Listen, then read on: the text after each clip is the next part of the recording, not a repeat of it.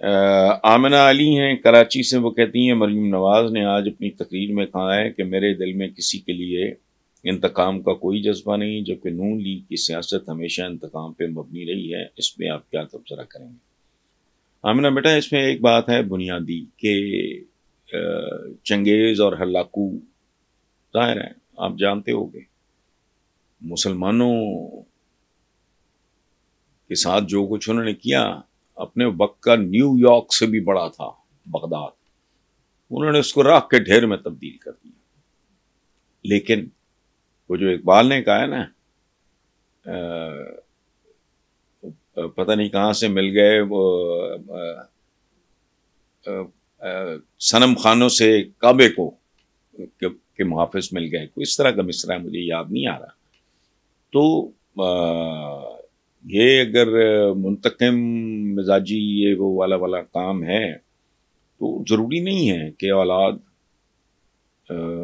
Akbar the great बहुत बड़ा अकबर आज़म कहते हैं उसको, मुगल आज़म कहते हैं उसको। वो बिल्कुल ही एक सेकुलर सा आदमी था। उसकी औलाद में औरंगज़ेब आलमगीर, वो बहुत ही ज़्यादा इंतहा पसंदी की हद तक एक रिलीजस आदमी था। जहांगीर एक न्यूट्रल आदमी था, सो ये कोई ज़रूरी नहीं है। दूसरी बात, ये जो आप इंतकाम की आपने बात की है तो ये नून लीग का, के अवाइल जो पहले चंद साल थे, जिसमें इन्होंने मुंतकम मिजाजी वगैरह का किया, उसके बाद तो इनका रिकॉर्ड कोई ऐसा बुरा नहीं है। मेहनत, दयानत मेरिट और अचीवेबल टारगेट्स भाई शाह बढ़ के यूँ कर देंगे, वो कर देंगे, टाइगर बना देंगे इनके बुज़ुर्ग। कहाँ करते थे ना कि पाकिस्तान को टाइगर, वो पाकिस्तान बिलीव ही नहीं निकले। सो टाइगर शाइगर नहीं, अचीवेबल टारगेट्स।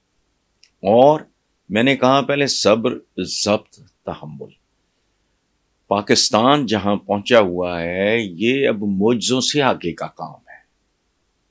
कोई चीज़ जिसे कहते हैं ना, हम कौम कैसी हैं? ऐसे ही हमारे लीडर हैं, या जैसे ही हमारे लीडर हैं, वैसे ही हम। कौम हैं? कैसे लोग हैं हम?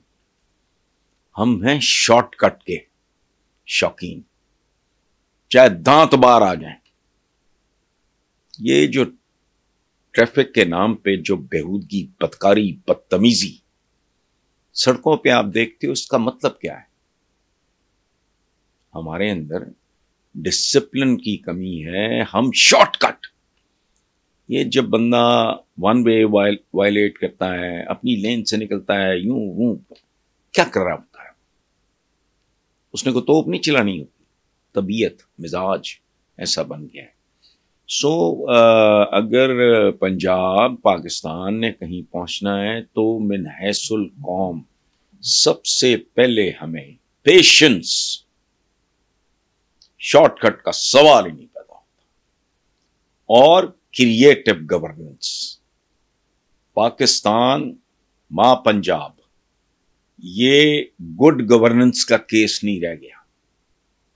गुड गवर्नेंस यानी अच्छी हुक्मरानी या जहांबानी वहाँ होती है, जहाँ चीज़ें नॉर्मल हो, जहाँ ये हाल हो जो इस वक्त पाकिस्तान का है, हर एतबार से. इकतसादी दिवालिया, अखलाकी दिवालिया रूहानी दिवालिया, माशरती दिवालिया, ये सारा। सो इसमें किसी मुझसे की तो ना करें। आए बेशर लाख ऑब्वियसली मतलब पहली खतून है पंजाब की तारीख में। हालाँकि मुगलानी बेगम, ये कुछ अनपढ़ लोग हैं, मुगलानी बेगम भी रह चुकी है। खैर, उसको आप छोड़ें। असल बात यह है कि आए बेशर lakh fifty one percent population एक खातून का सबसे बड़े सूबे की हुक्मरान होना इट इज़ गुड लेकिन अच्छी परफॉर्मेंस से भी आप कोई इनकलाबी तब्दीलियाँ, तब्दीलियों की तो ना करें और दुआ करें कि सब कुछ स्टेबल चलता रहे। आपने जो काम मसलन मुझे दिया है, उसके लिए मुझे वक्त भी पूरा दें। पूरा पाकिस्तान, यहाँ के दानश्वर, यहाँ के इंटेलेक्चुअल्स यहाँ के अपने सियासतदान, सारे कह रहे हैं। कोई कह रहा है डेढ़ साल चलेगी वो कह रहा है दो साल चलेगी। तो मुझसे अगर आपने पूरा रिज़ल्ट लेना है तो आप मुझे पूरा वक्त भी दें वो भी मिलता दिखाई नहीं दे रहा। सो इसका मैं आपको कोई डेफिनेट जवाब नहीं दे सकता। मेरे पास अल्लाह ने वो आ, मुझे वो विजन नहीं दिया। और मैं कोई जादूगर या नजूमी नहीं। सो मैंने एक सूरत हाल आपके सामने रख दी है इससे आप खुद अखज कर सकते हैं कि मुस्तबिल क्या होगा। मुस्तबिल का लफ्ज इस्तेमाल ना करें। मुल्क ज़िंदा रहते हैं, कौमें ज़िंदा रहती हैं, लोग मर जाते हैं। मुस्तबिल तो बड़ा लंबा काम है।